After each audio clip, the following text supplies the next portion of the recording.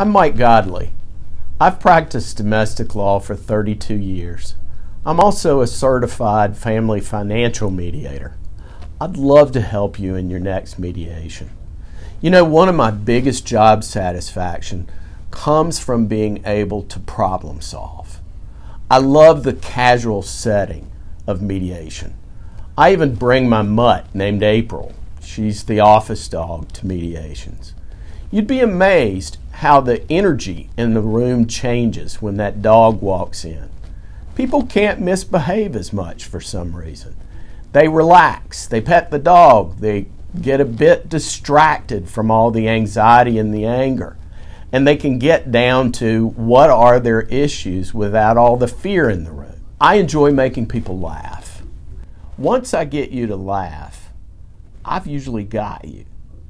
I like people relaxed enough that they can laugh about some of their issues. Then they can usually get down to problem solving in the mediation process, I love to talk about compromise. We've made that a dirty word in our society. But you know, when I stress to people that they have 50% of the control over the mediation process, the word compromise is not such a dirty word. And they also have a stake in solving their issues and beginning a new life. I'd love to help you in your next mediation.